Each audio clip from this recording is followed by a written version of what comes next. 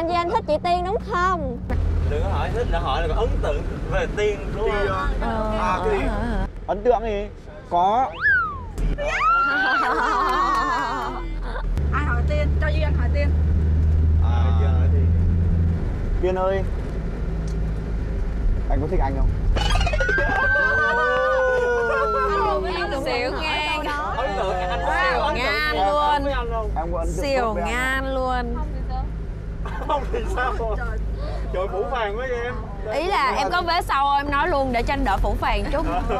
Không thì sao mà có thì sao? Thì ờ, không thì anh cũng biết mà có thì anh cũng biết. Trả lời thì cứ trả lời. có. Không. Không thì thôi còn có thì yêu nhau. Không thì thôi còn có thì yêu nhau. Bé ra anh yêu đuôi. Con bé ra đáo để thật sự. Sa anh hỏi em Gì nữa? Em đã dậy thì chưa? Em đã dậy thì chưa? Ờ, câu hỏi này được câu hỏi này được. Tại vì nó không có nằm trong chương trình. trời Vô duyên tự nhiên hỏi câu em đã vậy thì chưa? Thì em cứ trả lời rồi đâu có gì đâu. ờ, vui mà vui mà. không được á lên truyền hình đó cắt cắt cắt. À thế ờ, Sa em ấn tượng với ai nhất. Không không không không hỏi cái đó đi. Vậy cảm giác đầu tiên khi anh chạm môi em là như thế nào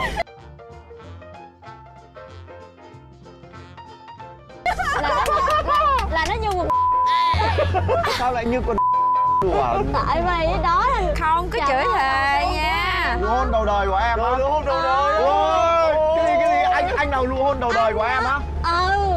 Đó là chưa ai chạm em luôn Tại vì em nói 19 năm chờ em chưa có quen ai. Ui thế thế thế, cảm giác chưa có chết. hôn. Ờ, cái này cũng có thể chết rồi chết em rồi mọi người ạ. Anh đó Anh Như anh đó. Anh là nụ hôn đầu đời của em á thật đấy hả? Ừ không con bé chưa quen ai mà. Em ăn bớt xong em đỡ rồi. Rồi xa có ấn tượng tốt với người đàn ờ, ông nào trong chương trình này? Ấn tượng tốt hả? Ấn tượng tốt. Ấn tượng tốt kiểu ờ, cảm mến kiểu bình thường thôi chứ không phải là chứ không phải là thích nha. Ừ không chưa phải là thích. Ờ, anh Khoa. Wow tại vì anh Khoa nói chuyện tại vì anh Khoa nói chuyện tại nước nên là ấn tượng. Ok. Kim hỏi Khoa đi bắt phải trả lời thật đó nha. Ờ, Hỏi gì giờ ta?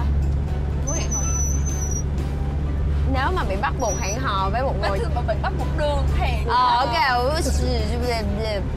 Nếu mà được hẹn hò với một bạn trong này Thì Khoa sẽ chọn ai? yeah.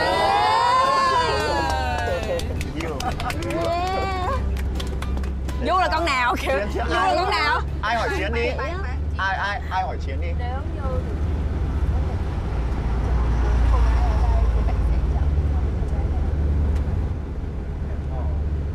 ờ. Hàng hàng hàng Hai Kim là có nhiều vote lắm nha. Chúng ta đã có một cuộc battle ở đây. Ngàn lần ngàn neo rồi. Thôi ba đứa mình ăn cơm tối. Ủa hai người này kiểu đồng lòng hay gì vậy? Tại sao lại là tôi? có muốn về nhà với em không? Tại sao khoa lại muốn hẹn Tại sao lại là tôi? tại sao lại muốn hỏi với kim? Nói thiệt nha nói thiệt nha. Là mấy tại vì khoa anh thì Kim nói chuyện khoa nói chuyện với Kim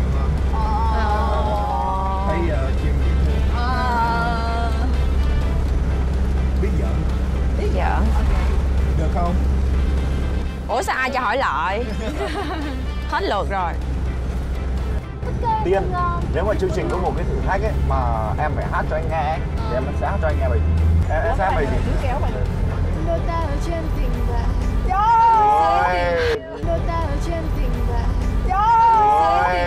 ôi, tôi đau lòng quá. Xúc cái gì vậy.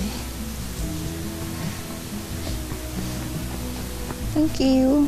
Thank you thank you rồi được rồi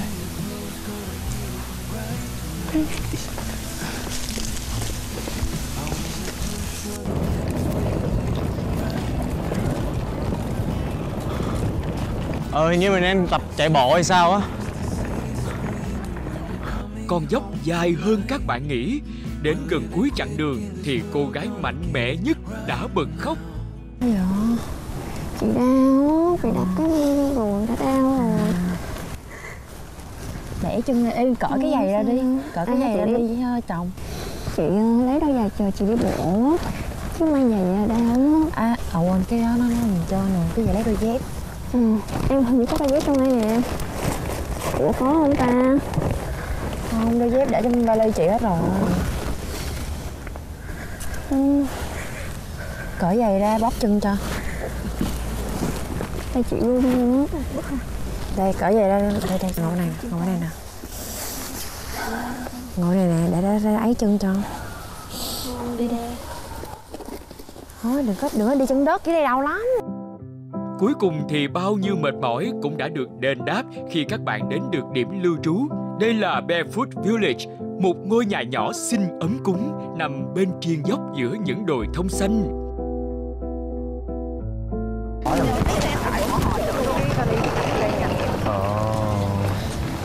Đi đi. Nó cứ lừa mấy em ấy. Không sao mình bước qua nó nhẹ nhàng thôi.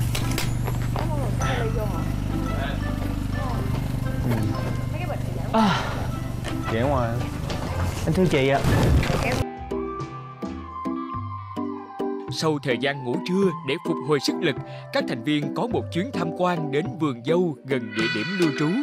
Lại là những con đường dốc quanh co và các chàng trai lại được dịp thể hiện sự ga lăng của mình. Nằm sâu dưới thung lũng là vườn dâu của anh Võ Văn Linh, 35 tuổi, Chào các bạn đến với vườn dâu của mình.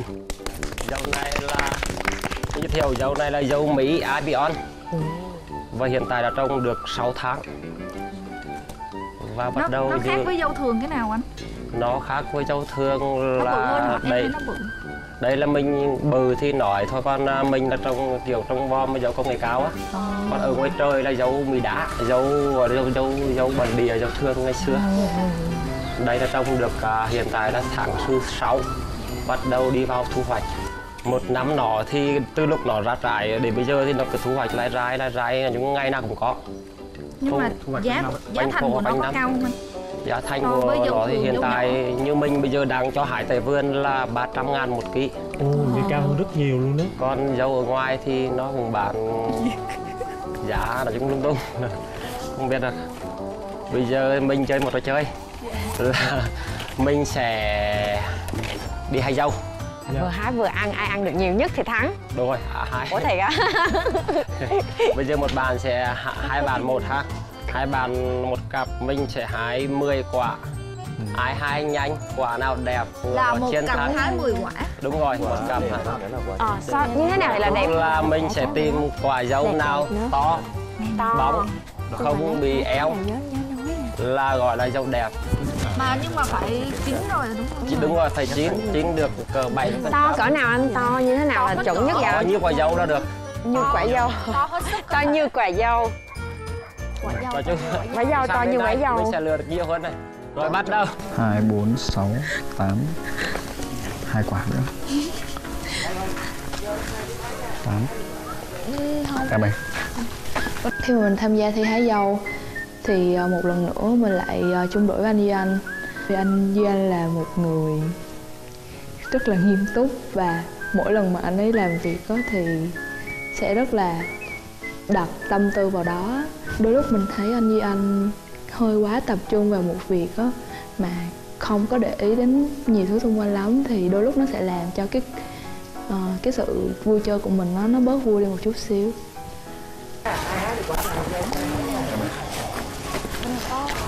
em không dám mất mạnh luôn á Nó bóng mà Xin hả? Ừ, xin. Ê, đủ rồi. Anh ơi em xong rồi ủa sao nhanh quá vậy? Hả trời nhanh vậy? Ấy mình Mình lựa hơi bị kỹ. Tụi em xong rồi. tính ra mình hái được mới có một trái luôn á. Cuộc chơi này rất là vui và mình lần đầu tiên lần đầu tiên mình thấy những quả dâu mọc à, lên từ cái cây và mình có thể tận tay hái cũng như tận tay thưởng thức những quả dâu ngay tại vườn. Đó là một điều rất là tuyệt vời mà trước đây mình chưa bao giờ mà mình có dịp làm cái chuyện này? Trời ơi, mình không hiểu hái như thế nào mà, kiểu như, mình với lại anh chiến cũng giống như là không phải là mình không thích anh chiến mà là do mình với anh chiến là hai người nói chuyện hoàn toàn khác nhau. Và mình thì cũng im, mà anh chiến thì cũng im, cho nên là hai người khi kết hợp lại với nhau á, thì nó sẽ tạo ra một cái cảm giác là không thoải mái bắt cặp thì bắt cặp thế thôi.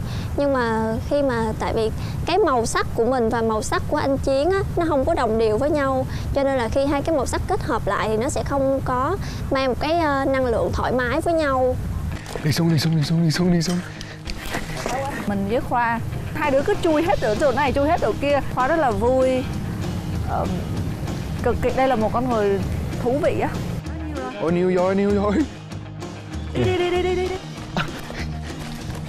Đây này, Trong này. nhà mình xịt không nhưng mà phải để theo thứ tự nha. Anh đừng có cháo nha. Đúng rồi. Đây không phải thi hoa À. hậu anh nha. Hết rồi hả? Hết rồi. Dạ hết rồi. hết bốn. Của ai không biết nhưng mà ở cái hộp này phèo. là hai trăm ngàn một ký quả đẹp nhất. Mấy. Hộp thứ hai. Hôm nay được giành nhi đây này. Ồ mấy gì anh chưa nhìn đến cái hộp của mình hay sao á? Thế thì giải nhất hôm nay sẽ thuộc về tiến và Diệu Anh. Thôi chúc phần thưởng là một hộp dâu một ký.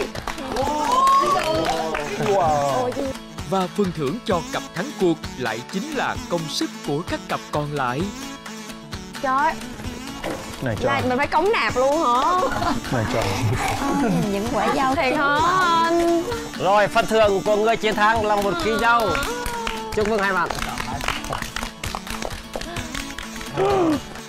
Sau đây là lúc để các bạn cùng tận hưởng thành quả có được tại vườn dâu. Ê, hai người này mặc đồ hợp nhau thật sự ấy nhờ trời ơi, sao mọi người cứ muốn gán ghép em với cái ông này á Không có ghép, hai người mặc đồ màu giống nhau thôi đi Chịu đi Chịu không chịu buộc chịu Chị nói không thích chịu Xin những dâu luôn trời Dám mang ơi cái trái dâu này nhìn mặt giống khoa quá à. Nó vuông á. Cái trái dâu mặt y chang khoa luôn nè. Nè cái tóc quê cái mặt nè. cái Ờ, nè nhìn đi để kế bên đi y chang luôn á. Anh anh em sinh đôi vậy á Khoa cái này con của anh khoa khoa có mà. ý định con à. vợ đâu rồi? Dạ dạ đang ở dưới đó đó. Giờ là cái ờ, là cái cây nguyên má. đang ở dưới đó đó. Cái này là straw khoa. I mean khoa berry. Khoa berry. Khoa berry yeah. Hoàng hôn dần buông, đó là thời điểm thích hợp để từng cặp đôi hẹn hò tìm hiểu để gần nhau hơn. Thế nhưng có một cuộc hẹn đã đi theo hướng không mong muốn. Ban đầu cuộc hẹn ấy vẫn diễn ra hết sức bình thường. Anh xem như một người em thôi đúng không? Ờ đúng rồi, anh xem như một Vậy bây giờ người anh thích là ai? Lúc đi ra em nhìn nhà chung thì anh cảm thấy giống như là Ồ, đây là sẽ những là người em gái của mình Sẽ những người em gái thân thiết của mình nữa. Bởi vậy vô anh hay chọc mấy câu mà anh không có nghĩ tới. Nó hơi bị vô duyên thôi nhưng mà anh cũng ờ, không có buồn lắm Tại vì mình nghĩ là mình chỉ ờ, ráng làm cho mọi người vui thôi. Đôi khi nó vô duyên quá thì coi, coi như mình xin lỗi các bạn nữ.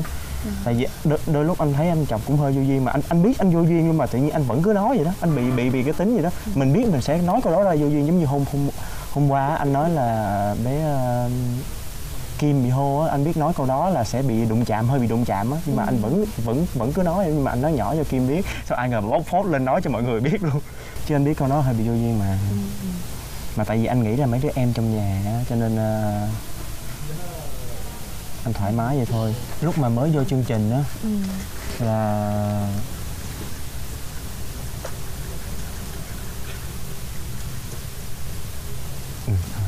Anh nói đi. Sao vậy? Sao vậy? anh ờ, thôi thôi thôi, bị vô duyên không nói đâu không nói không nói không không, không. Không, nói đi, nói đi. Không, không, không. anh đừng có mưa rồi. Không, không, Anh đừng có sắm xếp rồi anh không mưa. Thôi thôi sao em bóc phốt anh nữa? Không, em sẽ không bóc phốt. Em Dạ. sẽ đặt cách cho lần này. Ờ Không cách nha. Ok, không cái này anh nói thật nha cho nên đừng giận nha. Ok.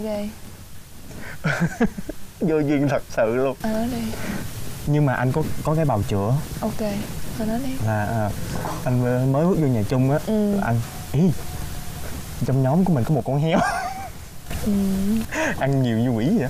nhưng mà xong rồi xong từ cái hôm đó xong lúc anh thấy em nhảy, nhảy á đó tập nhảy cái anh bị bật ngược lại hoàn toàn luôn. Trời ơi. Trời thì mình đánh giá người ta bị vội quá trời em tài năng quá trời luôn. Ôi nhảy nhảy đẹp mà dạng như là mình bị uh, dội ngược lại những cái uh, mà hoàn cảnh sẽ đầu mình suy nghĩ thì lúc đầu bà ăn nhiều quá ăn thiệt. Nhưng mà anh chỉ nghĩ đó nghĩ vui thôi thực ra là lúc anh nói như thế thì em cũng hơi buồn. Ờ buồn đúng không, Không, nhưng mà không cái đó phải, câu nói câu chọc thôi chứ không không. phải là thì em sẽ nói lý do vì sao. Ý là em biết đó là cảm nhận của tất cả mọi người. Khi không có không có mọi người không ai nghĩ vậy hết đó lần đi mọi người gặp em không em biết mà. Không không có không Em biết cái đó đâu. không phải- quá à thiệt luôn á. Em biết là như vậy. Ờ thực ra là giờ chị em để tờ giấy cho đừng có khóc mà. Anh. không phải đâu. Mọi người không ai nghĩ vậy hết đó còn anh cũng không có nghĩ vậy luôn mà là anh chọc thôi. Tức, tức là cái khuôn mặt của em ừ. từ nhỏ nó đã vậy rồi. Ừ. Hồi em rất là tự ti với khuôn mặt của mình đó anh thật không phải. Em em em nghe nhiều lời nói nó nặng nề hơn rồi thật sự. Em nhớ mà em không biết là tại vì sao nó nó lại như vậy nữa. Có đừng có lúc mà em nhịn ăn để em ốm lại.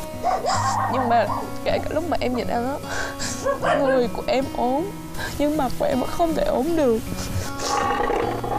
Anh nói nghe không đó là em biết đó là khiếm khuyết của em. Và em không bao giờ em chưa bao giờ tự tin về bản thân mình về cái đó hết. Anh nói nghe nè. Trời sinh sao á Ý là em biết em biết là trời sinh sao thì mình chấp nhận như vậy. Không. nhưng mà đến bây giờ em vẫn chưa chấp nhận được. Tại sao phải chưa phải phải Đó. phải, phải chưa chấp nhận? Em không biết đó là một cái sự tự ti của em. Đừng có tự ti nói thật á vì nói chung là sau bên trong của em thì em vẫn không tự tin. Ờ, với vẻ ngoài của mình. Anh cũng vậy anh cũng có cho nên là ờ, thực sự là ờ, em biết em biết là em không thể nào cấm mọi người khi nhìn vào mình mọi người nghĩ như thế nào được. Anh cũng nhưng có... mà em thực sự là em không muốn nghe những lời đó. Thôi vậy hả? Vậy để mốt anh chú ý anh không nói nha. Tại vì anh không có biết. Ok nó bị bị động chạm vô bên sau bên trong á thì thực sự cái này anh hơi vô ý. Sự là em em không muốn nghe những lời đó. Ừ. Dù em em biết là mọi người không có ác ý mọi người chỉ giỡn thôi. Ừ. nhưng mà ok ok anh hiểu anh hiểu em anh hiểu. em bị để ý. Ừ, thôi đừng buồn đừng buồn nữa. Anh, là anh hứa hứa. Anh hứa là từ giờ về tới về sau Ừ. anh sẽ không còn vô duyên như vậy nữa nha